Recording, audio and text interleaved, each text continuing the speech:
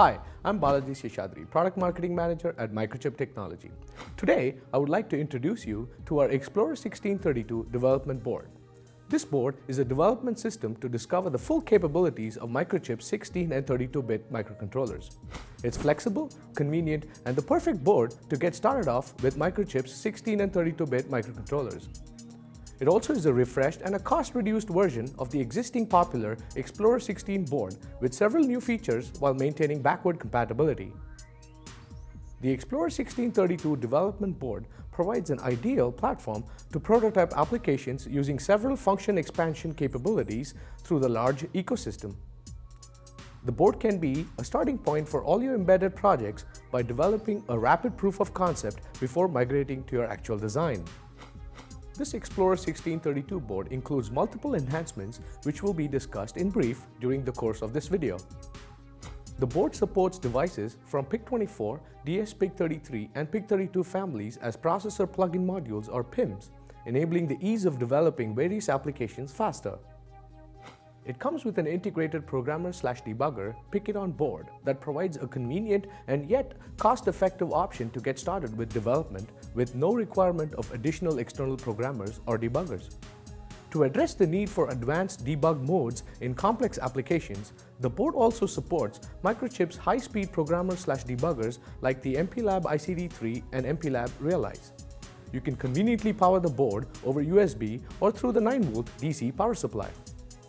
To interface the board with a PC, Mac, or Linux-based host, the board comes with an integrated USB to serial communication bridge for data exchanges.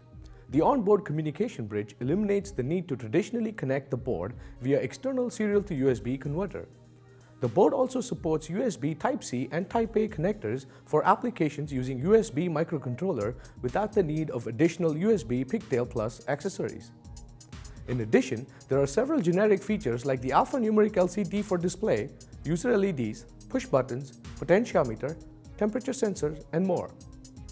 To provide limitless capability to prototype any kind of application and add several functionalities, the board comes with a large ecosystem of both processors and application daughter cards. Take advantage of selecting the processor plugin module of your choice from over 45 plus families of 16 and 32-bit MCUs and DSCs to explore the innovative features of the device of your interest.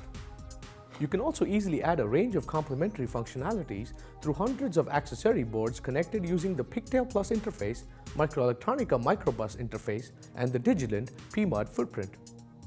To top it all off, the new Explorer 1632 board is completely backward compatible with the classic Explorer 16 development board in using existing codes, libraries, prototypes, PIMs, and all the PICtail Plus daughter cards interfaced via the side PICtail Plus connector.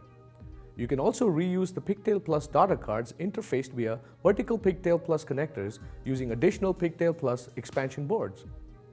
To accelerate your design cycle, the Explorer 1632 development board comes with an extensive array of software libraries and code examples for quick starting of your designs. So get started with your application using the new Explorer 1632 development platform. For an out-of-box experience, the Explorer 1632 development kit is the right choice that comes with all the necessary components to get you started with evaluation and prototyping right away. The kit contains the new Explorer 1632 development board, a 16-bit high-memory PIC24FJ 1024GB 610 plug-in module, and two USB cables, a Type-C and a Micro-B. To learn more about the new Explorer 16 development platform, please visit microchip.com slash explorer1632.